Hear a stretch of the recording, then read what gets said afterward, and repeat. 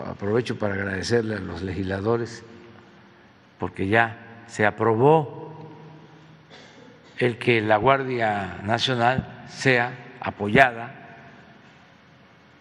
por la Secretaría de Defensa y por la Secretaría de Marina, que continúe siendo apoyada y que se fortalezca la Guardia Nacional. Y no es militarizar, que no este, quieran los autoritarios ahora este, pasar como defensores de derechos humanos. ¿Qué hicieron los conservadores con el ejército? Utilizarlo para reprimir sin fundamento constitucional, de manera ilegal. Usaban al ejército, a la marina, para labores de seguridad pública. Y además, sin respeto a los derechos humanos. Son unos reverendos hipócritas.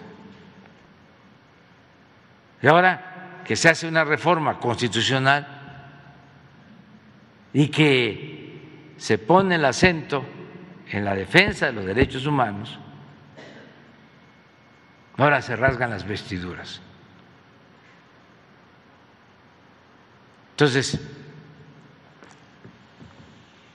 Adán, como secretario de gobernación, pues eh, va informando de por qué es importante esta reforma y sí se tiene que apoyar a los gobiernos estatales, municipales, para que sus policías eh, garanticen la seguridad pública. Pero hay casos, ayer, por ejemplo, hoy me informaron, nada más que no le dio tiempo a Ricardo. Este, creo que lo vas a dar a conocer el próximo jueves. Pero encontramos de que el robo de unos trailers con mercancías en los límites de Veracruz con Puebla, esto incluso este, advertido por los mismos pobladores, cosa que me da mucho gusto, este, se demuestra que quienes llevan a cabo estos robos son policías municipales, estatales, de Puebla y Veracruz.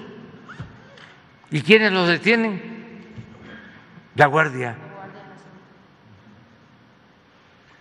Sí, entonces sí es muy importante.